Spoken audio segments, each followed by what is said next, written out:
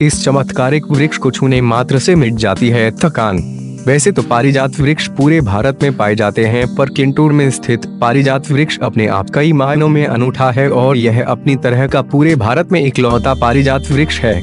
उत्तर प्रदेश के बाराबंकी जिला मुख्यालय से 38 किलोमीटर की दूरी पर किंटूर गाँव है, जहाँ ये दिव्य वृक्ष लगा है। कहते हैं कि इस पारिजात के वृक्ष को छूने मात्र से सारी थकान मिट जाती है। आमतौर पर पारिजात वृक्ष 10 फीट से 25 फीट तक ऊँचा होता है, पर किंटूर में स्थित पारिजात वृक्ष लगभग 45 फीट ऊँचा और 50 फीट मोटा चौड़ा है। इस पारिजात वृक्ष की सबसे बड़ी विशेषता यह है कि यह अपनी तरह का इकलौता वृक्ष है, क्योंकि इस पारिजात वृक्ष पर बीज नहीं लगते हैं तथा इस वृक्ष की कलम बोने से भी दूसरा वृक्ष तैयार नहीं होता है। पारिजात वृक्ष पर जून के आसपास बेहद खूबसूरत सफ़ेद रंग के फूल खिलते हैं। पारिजात के फूल केवल रात को खिलते हैं और सुबह होते ही मुरझा जाते हैं। इन फूलों का लक्ष्मी पूजन में विशेष महत्व है। पर एक बात ध्यान रहे कि पारिजात वृक्ष के वे ही फूल पूजा में काम लिए जाते हैं जो वृक्ष से टूट कर गिर जाते हैं। वृक्ष से फूल तोड़ने की मनाही है। पारिजात वृक्ष का वर्णन हरिवानस पुराण में भी आता है। हरिवंश पुराण में इसे कल्प वृक्ष कहा गया है, जिसकी उत्पत्ति समुद्र मंथन से हुई थी और जिसे इंद्र ने स्वर्गलोक में स्थापित कर दिया था। हरिवंश पुराण के अनुसार इसको छूने मात्र से ही देव नर्तकी और ऋषि की थकान मिट जाती थी। पारिजात वृक्ष कैसे पहुँचा पृथ्वी पर? एक बार देव ऋषि नारद जब धरती पर श्री कृष्ण से मिलने आए तो अपने साथ पारिजात के सुंदर पुष्प लेकर आए। उन्होंने वो पुष्प श्री कृष्ण को भेंट किए। श्री कृष्ण ने वो पुष्प साथ बैठी अपनी पत्नी रुक्मणी को दे दिए।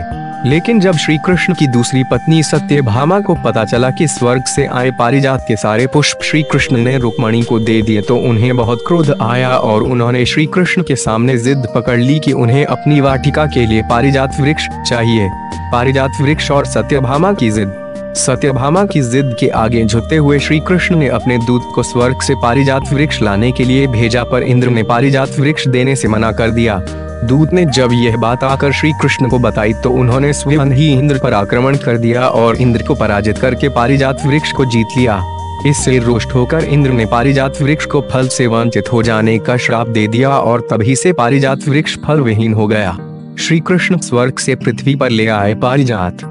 श्री कृष्ण ने पारिजात वृक्ष को लाकर सत्यभामा की वाटिका में रोपित कर दिया, पर सत्यभामा को सबक सिखाने के लिए ऐसा कर दिया कि जब पारिजात वृक्ष पर पुष्प आते तो गिरते वो रुक्मणी की वाटिका में। और यही कारण है कि पारिजात के पुष्प वृक्ष के नीचे न गिर कर वृक्ष से दूर गिरते हैं। इस तरह पारिजात वृक्ष स्वर्ग से पृथ्वी पर आ गया। संरक्षित वृक्ष। पारिजात वृक्ष के ऐतिहासिक महत्व व इसकी दुर्लभता को देखते हुए सरकार ने इसे संरक्षित घोषित कर दिया है। भारत सरकार ने इस पर एक डाक टिकट भी जारी किया है। पारिजात का आयुर्वेदिक महत्व, पारिजात को आयुर्वेद में हर हरसिंगार भी कहा जाता है। इसके फूल पत्ते और छाल का उपयोग औषधि के रूप में किया जाता है। इसके पत्तों का सबसे अच्छा उपयोग गृद्रसी सायटिका रोग को दूर करने में किया जाता है। इसके फूल दिल के लिए भी अच्छी औषधि माने जाते हैं।